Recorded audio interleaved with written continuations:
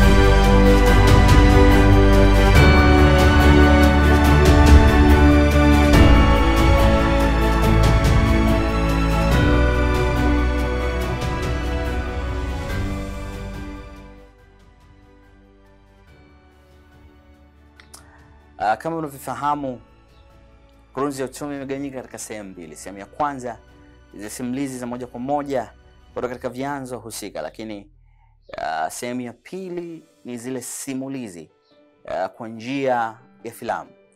Leo nimeona nirudi katika chanzo halisi, Biblia.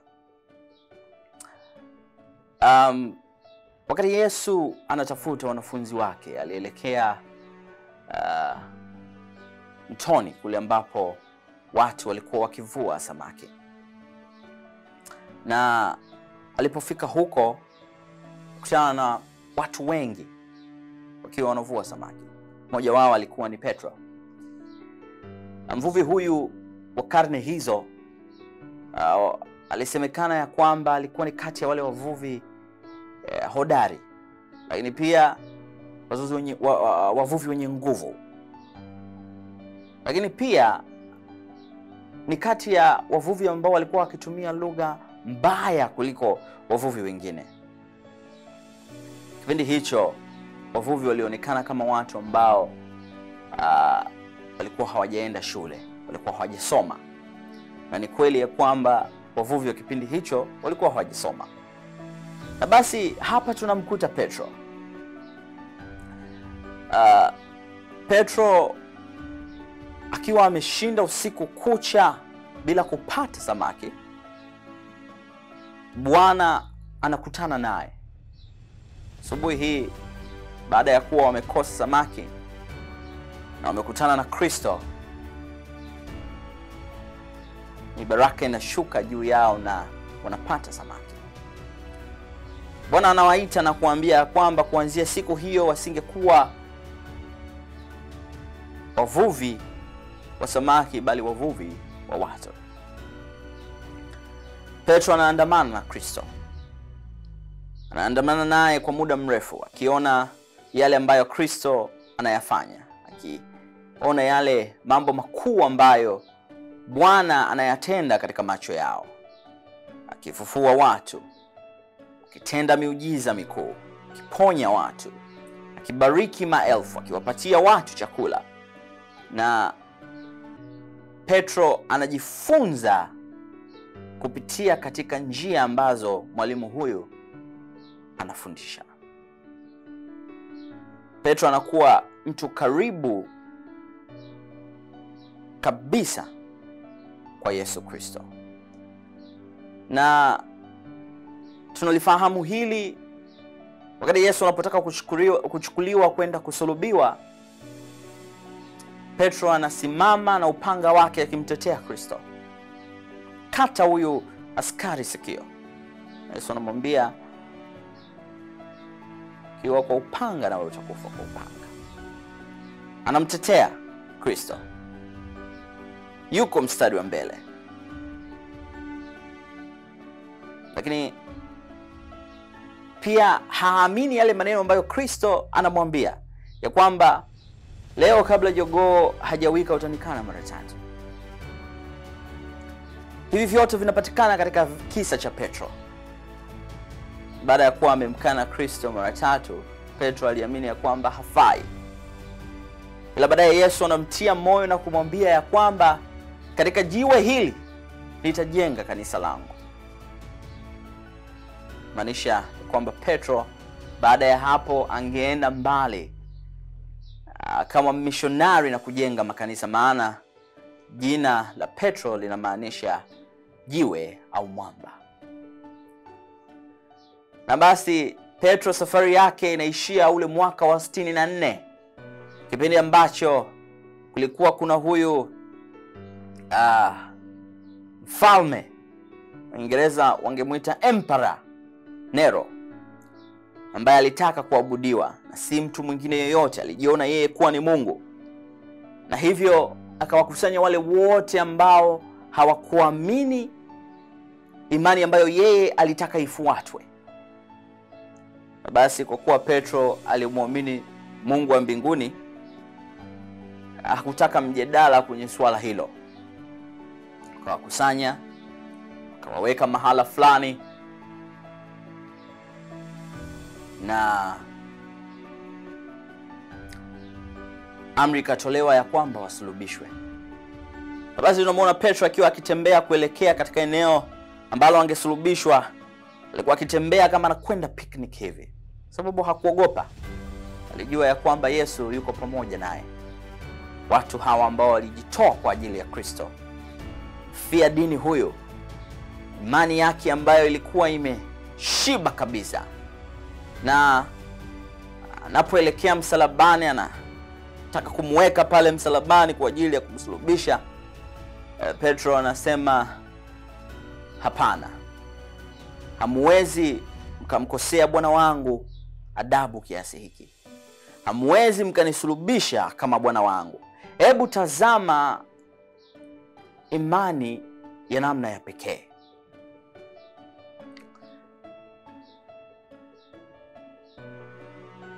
Anamwogopa Kristo mpaka katika kifo chake.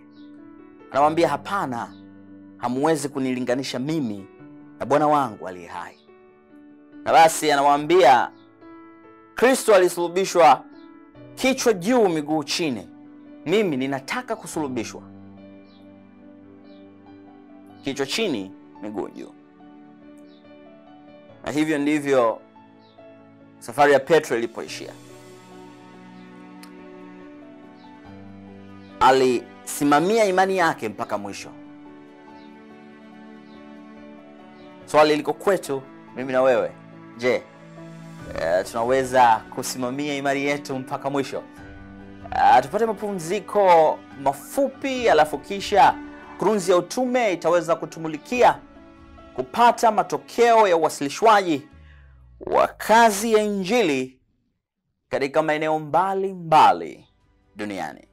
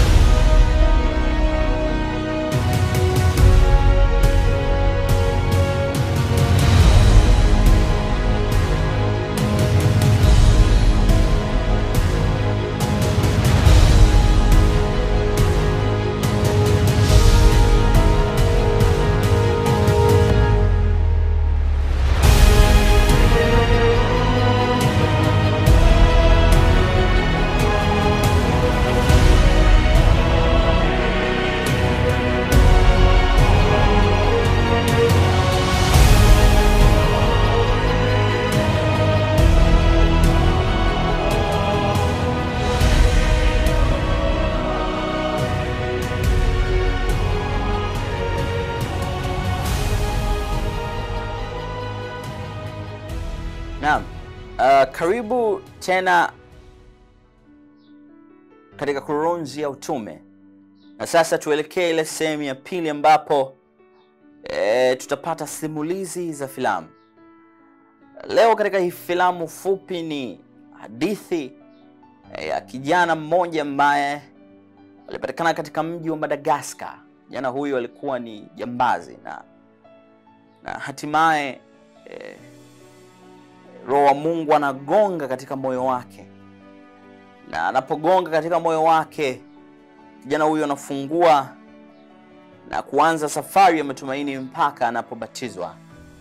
Uh, karibu tutazame filamu hiyo fupi.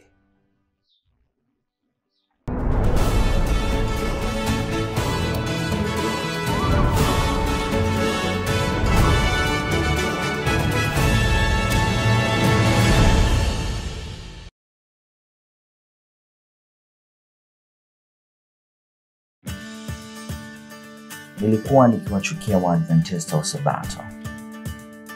Walipokutana kwa ajili ya mikutano yao ya kiinjilisti, nilikuwa nikirusha mawe kwenye bati. Lakini siku moja nikaona wasichana wazuri, warembo, wanyembwende wakiingia katika hii mikutano, na hapo wazo likanijia, nahitaji mwanamke mrembo. Nikawaza, labda naweza nikapata mmoja hapa. Nikaingia mkutanoni, nikakaa nyuma kabisa, nikaanza kuthaminisha. Mmoja baada ya mmoja, na mmoja kati yao alinivutia sana, na baada ya mkutano nilimfuata na nikajitambulisha.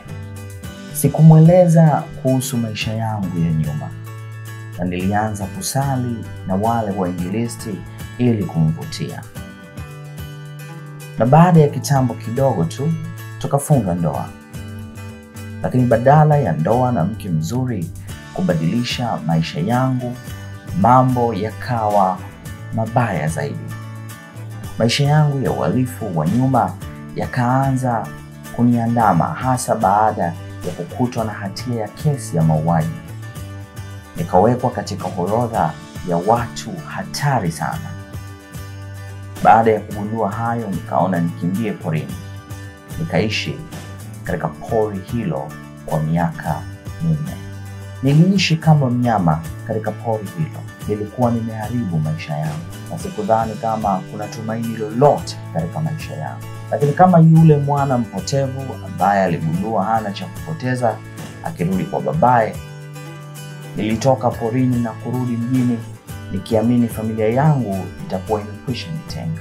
Hivyo nikaenda katika kanisa la Waadventista wa Sabato. Hapo nilikutana na mzee wa kanisa na akanihakikishia ya kwamba sehemu yangu ipo katika kanisa la Bwana na kwamba nilikaribishwa wakati wa Maneno haya yalinipa nuru na matumaini katika moyo wangu. Japo mzee wa kanisa alikuwa mkarimu, washiriki wengine walinitenga. Maisha yangu ya nyuma yakaanza kuniadhibu tena.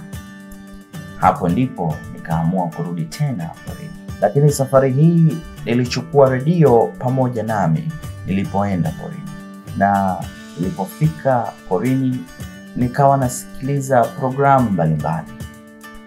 Siku moja yenye mbaraka mkubwa, nikakutana na matangazo ya Adventist World Radio, na maneno ya matangazo yale yaliugusa moyo wangu. Nikaanza kumpenda kifani huyu Yesu ambaye anaweza kusamehe mdhambi kama mimi.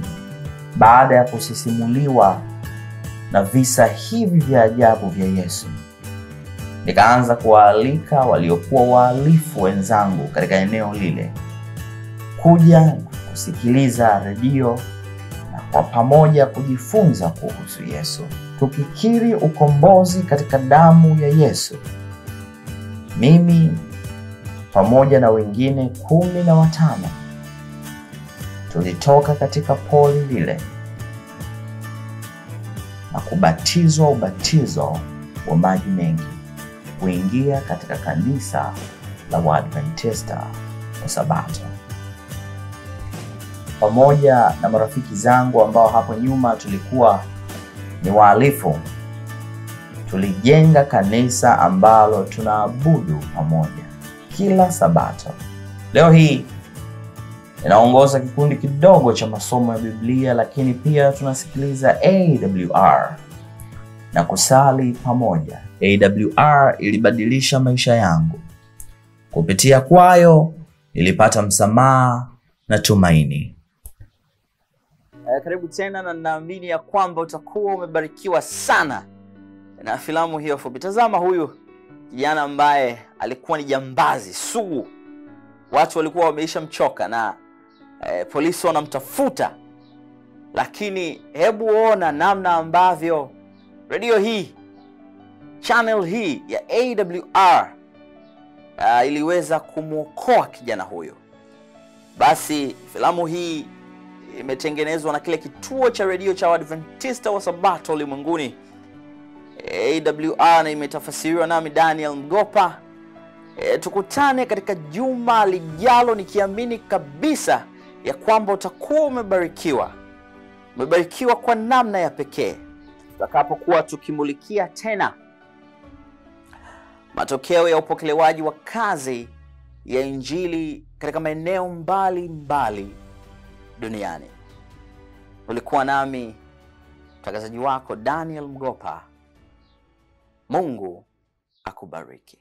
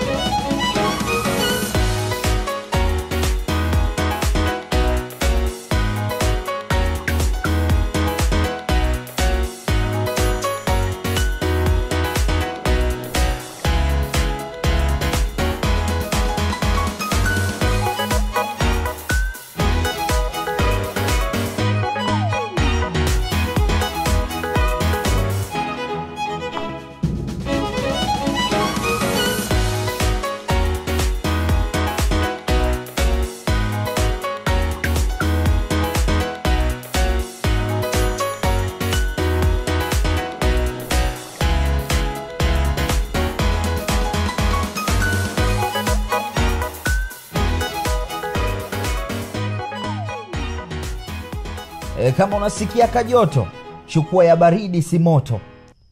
Huku umekaa kwa kiti unaangalia fukwe nzuri ya magoroto. Hii ndio juisi ya ukwaju bwana na tende lililorojo lenye limao asali na yote masontojo. Ekaa usiipe luninga yako kisogo inafaa kwa magonjwa ya moyo uzuri wake. Juisi anakunywa hata kibogoyo. Ina mavitamini yasiyo na idadi imesimama kwa zake itikadi. Hapa rojo hapa tende. Kule ukwaju tamu kama peremende